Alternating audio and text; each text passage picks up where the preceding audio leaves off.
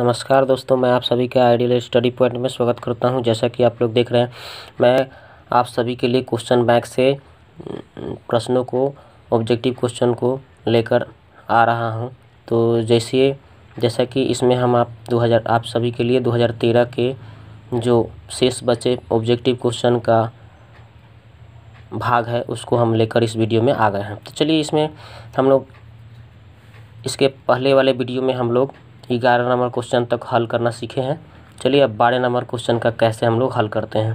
तो क्या कहा जा रहा है? साइन तीस डिग्री का मान तो साइन तीस डिग्री का मान तो ये आपको याद करना पड़ेगा ना, कितना होता है? एक बटे दो होता है, ठीक है? साइन तीस का मान कितना होता है? एक बटे दो। चलिए नेक्स्ट प्रश्न को देखते हैं। ये देखिए नेक्स्ट प्रश्न क्या कहा जा रहा है कि किसी भी वृत्त पर कितनी स्पर्श रेखाएँ खींची जा सकती है?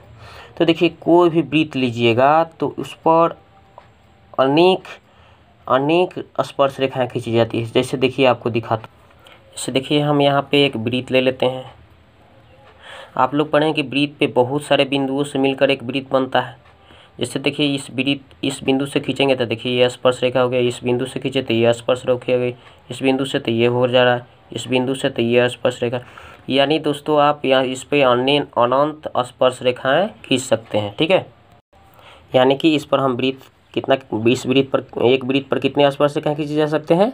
तो अनेक खींच सकते हैं ठीक है? अगला कहा जा रहा है कि इसको आप क्या करना है? इसको आ, मतलब एक दशमलव तीन चार को परिमेय संख्या को परिमेय संख्या के रूप में लिखना है यानी बट्टा के रूप में लिखना है। तो चलिए मैं इसको सोल्व करके दिखाता हूँ। तो देखिए दोस्तों यही प्रश्न हमारा कहा जा रहा था इसको हमको परिमेय के रूप में दिखाना था। तो देखिए दशमलव के बाद कितने अंक है बताइए। एक, दो तो दो सोना लगा दीजिए तो दशमलव अब काट दीजिए। अब इसका हाफ़ करिए तो कितना होगा? छः दूना बारह और सात दूना चौदह। इसका हाफ़ कितना होगा? पचास होगा। यानी अब तो कट नहीं सकता है, यानी कि सड़सठ बटा कितना हो गया? पचास।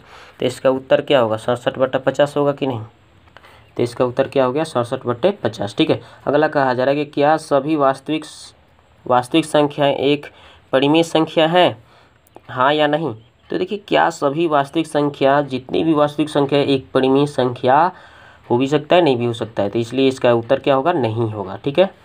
अगला प्रश्न कहा जा रहा है कि ये द्विघात समीकरण three x square plus four x plus five बराबर ज़ीरो के मूलों का योगफल क्या होगा? तो आप लोग क्या पढ़े हैं कि alpha plus beta is equal to क्या होता है? माइनस बी बट्टे ए।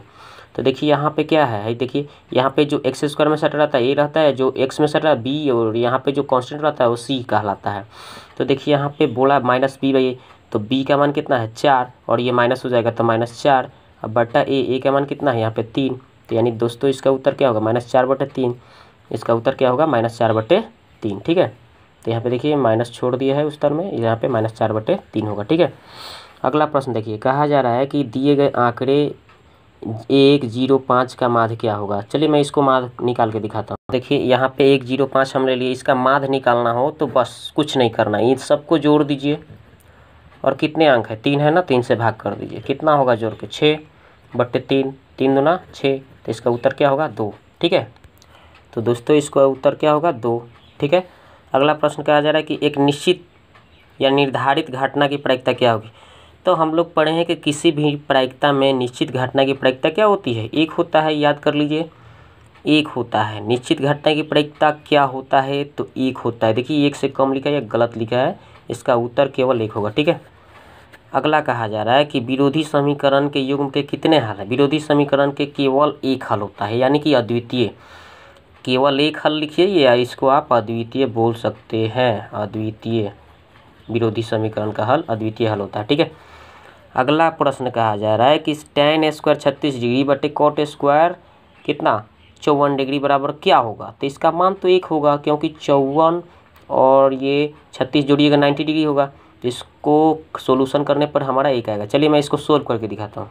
तो देखिए, यहाँ पे प्रश्न हमने लिख दिया। अब देखिए, एक क्या करिए कि एक को बदल दीजिए नाइन्टी माइनस थीटा, यानी कि हम टेन क्या कर देते हैं? टेन स्क्वायर नाइन्टी में से कितना कम करेंगे कि छत्तीस हो जाएगा तो चौवन हो ठीक है? बट्टा जैसे है, उसे एक को छोड़ दीजिए उसे। चौवन। अब देखिए, यहाँ पे टेन नब्बे माइनस थीटा क्या होता है? कॉट थीटा होता है कि नहीं? स्क्वायर है तो स्क्वायर तो थीटा की जगह चौवन है। नीचे क्या है? कॉट स्क्वायर थीटा है, यानी चौवन। अब इसको देखिए, काट रहे हैं तो क्या हमारा बच रहा है? एक। यानी दोस्तों, इसका उत्तर एक होगा कि नहीं? तो देखिए दोस्तों, इसका उत्तर क्या होगा? आपका एक होगा, ठीक है? हम आपको मान निकाल के बता दिए, ठीक है? तो दोस्तों, यदि ये वीडियो आपको अच्छा लगा तो लाइक करिए, शेयर करिए, सब्सक्राइब करिए। थैंक यू वेरी मच और इसके अगले क्वेश्चन बैग का जो दूसरी सीटिंग का जो पेपर होगा, उसका सोल्यूशन मैं अगले वीडियो में लेकर आऊँगा। तो दोस्तों, देखना ना भूलिएगा। चलिए थैंक यू वेरी मच